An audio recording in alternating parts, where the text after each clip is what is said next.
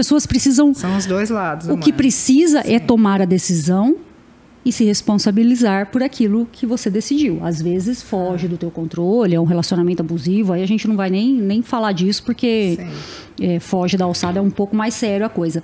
Mas o, o, o dar o pontapé e falar, peraí, eu não, eu, essa, essa relação não, não me serve mais. É, eu aprendi uma coisa na minha vida que depois que eu aprendi essa virada de chave, tudo ficou mais fácil para mim, assim.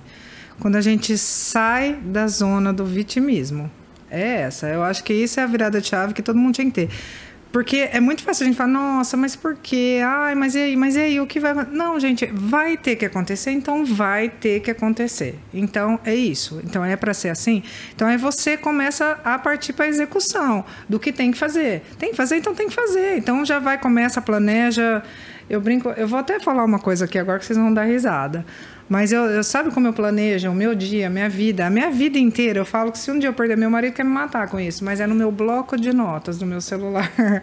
A minha vida está no meu bloco de notas do celular. Se um dia eu perder o meu celular, o meu bloco, eu não sei o que eu vou fazer na minha vida.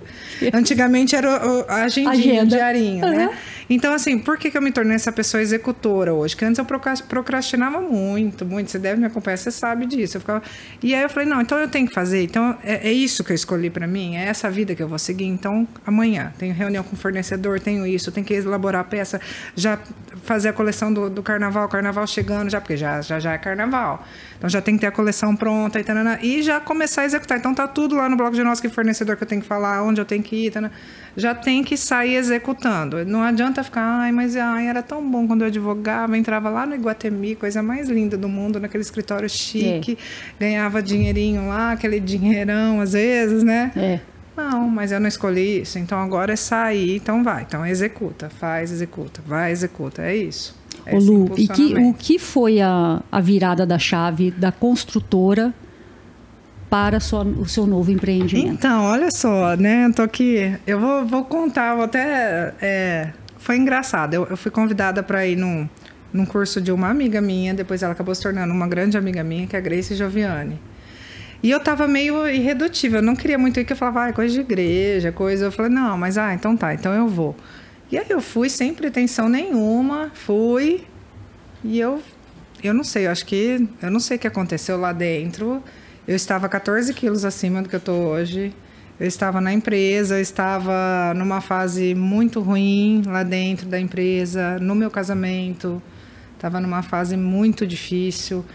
E aí eu, eu participei dessa imersão que ela faz, que chama Método SSS, e aquilo mudou a minha vida. Aquilo foi uma coisa, acho que Deus falou, vai nisso, porque lá você vai enxergar um monte de coisa que você está precisando.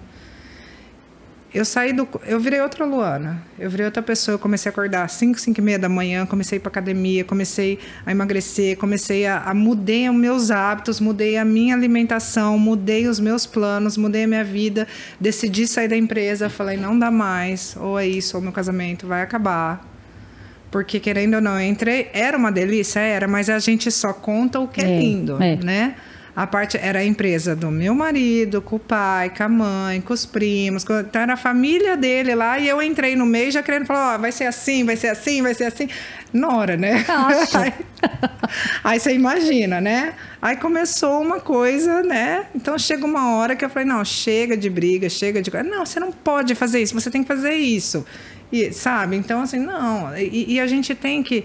É um olhar estranho que eu vou falar agora. Se você talvez não vai concordar, mas a gente tem que ter uma certa submissão, às vezes. Sim.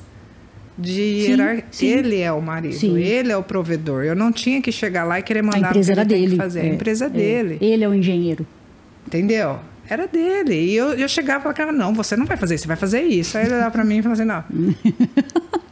Então, né? Então, aí quando eu fui para esse SCS, que eu comecei a ver e minha mente foi abrindo, aí eu falei: não, não tem nada que eu queira mais do que a minha família.